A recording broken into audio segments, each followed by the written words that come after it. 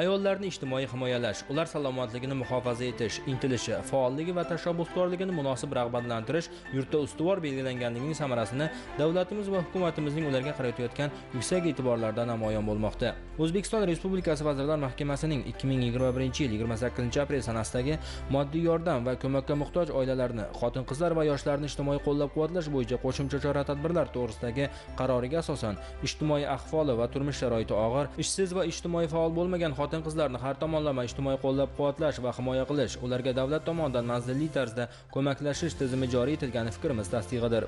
Mazkur tizim asosida viloyatdagi 234553 nafar xotin qizlardan ijtimoiy himoyaga muhtoj bo'lgan 12827 nafari ayollar daftariga kiritildi. Ularning ijtimoiy va iqtisodiy ahvolini yaxshilash maqsadida barcha darajadagi rahbarlar amaliy sa'y harakatlarni olib borishmoqda.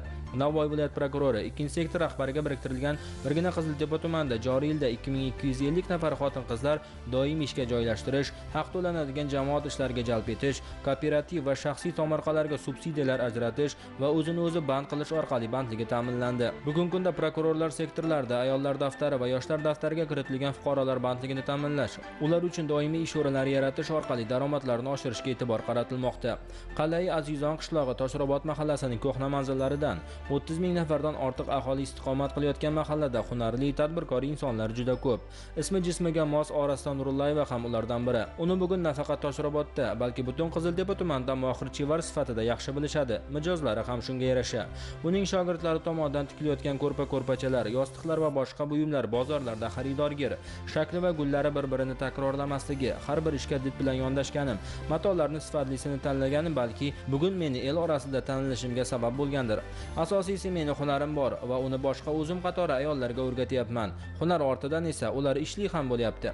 Mening burchim mahalladoshlarimga foydam tegishi va ularni ish bilan ta'minlash deydi tadbirkor bizga tayyor mahsulotlarni ko'z ko'z qilar ekan.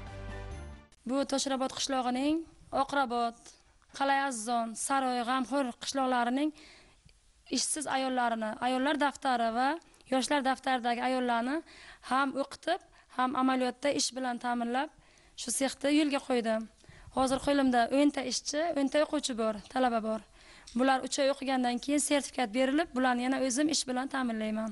Kelajakda rejalarimiz shu mahsulotlarimizni o'zbek milliy hunarmandchiligini chetga eksport qilish va mana bu ayollarimizni tadbirkor qilib har birini kasb hunarga yo'naltirib qo'llarini to'g'ri qilib ko'p narsaga qurb yetadi. Yana ishchi o'rinlarini ko'paytiramiz nasib etsa boshqacha yo'nalishlar bilan yana.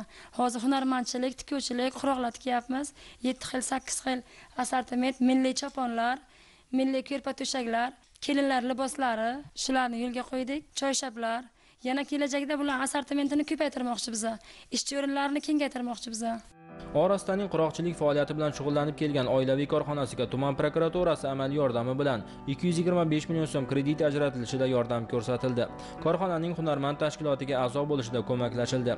Natijada korxonada 20 ta yangi ish o'rni yaratildi va 5 nafar xotin qizlar ishga qabul qilindi. Korxona rahbarining murojaatiga asosan 15 nafar xotin qizlarni kasb hunarga o'qitish maqsadida tumandagi 1-sonli kasb hunar maktabidan o'quv xonasi ajratildi va 4 tomonlama shartnoma asosida o'qish yo'lga qo'yildi.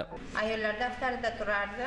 Hozir mana bu kollejga kelib tikuvchilik o'rganib tikuvchilik qilib uyda tikish qilib oilamga daromad olib kelyapman. Kreditga tikish mashinka olganman bundan hamda faoliyatimni kengaytirmoqchiman. Man yoshligimda o'qiy olmaganman endi xursandman bu imkoniyatlardan foydalanib o'qiyapman qiziltepa tumanida kulolchilik hunari ham azaldan rivoj topib hududda bir qator sulolalar shakllangan. Shu bilan birga qiziltepa maktabi ham yaratilgan. Yangi hayot mahallasida yashovchi erkin esonov to'rtinchi avlod kulollardan otasi quvon bobo ham el orasida dong'i ketgan kulollardan bo'lgan. Ushbu hunar sirlarini undan o'rgangan va qo'l olgan. Bugun o'zi ham ustoz uch nafar o'g'li ham ota izidan bordi. Mana shu mo'jazgina ustaxonada to'rtta oila ro'zg'or tebratadi. Bizda bekor odamning o'zi yo'q deydi hunarmand. Qadimiy imoratlarni ta'mirlash bo'yicha koshinlar chiqarilyapti hozir. Shunga hozir talab. Mana katta obidalar xorazm samarqand buxoro. Bizadan bir qismi chiqsa ham u katta natija u.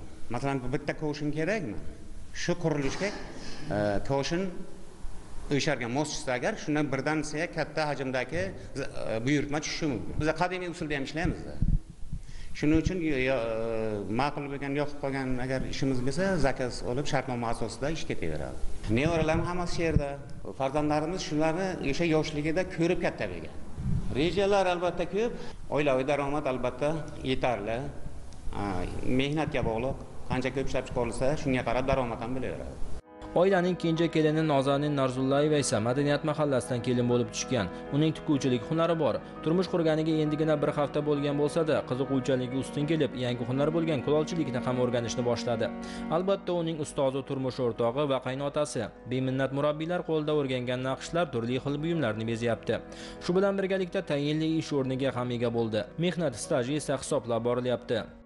Kulolchilikka kelib ko'rib qiziqdim va o'zim ham shunga chizishga harakat qildim.